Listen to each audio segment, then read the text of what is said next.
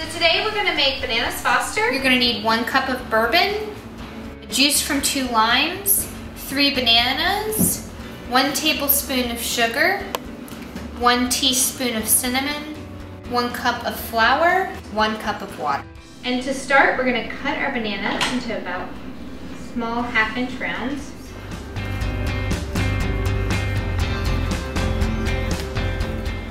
All right, once you have all three bananas chopped, going to add your lime juice, juice of two limes. Now, we're gonna add our bourbon directly into our bananas. All right, we're gonna let this sit and marinate for a little bit. Cover it with some plastic wrap. Put it in the fridge. We'll come back to it in a minute.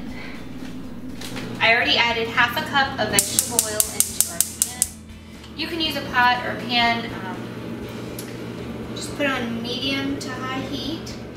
Now that our bananas have been marinating for the proper amount of time, pull them out. We're gonna make our batter. Just one cup of flour,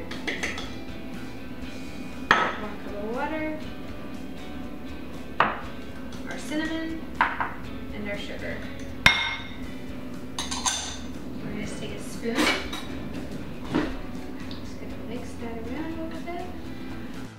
Okay, now that our bananas are properly marinated, we're gonna coat them in our batter.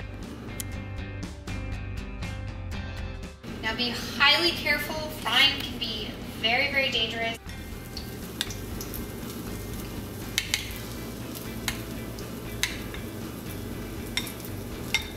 And the bourbon will cook off, by the way, in the uh, in the fryer, so you're not actually taking in the alcohol. The, it was just for the flavor. Flipping the bananas on the other side so they cook evenly. Now that our bananas are nicely fried, we're gonna put them on a paper towel to soak up the excess oil. We're gonna take some delicious vanilla bean ice cream. Now we're gonna place a few of our bananas on top. Like so. I actually like to sprinkle just a tad bit of extra cinnamon to top it all off. Let's try our delicious dessert. Mm. That is truly one of my favorite desserts in this book.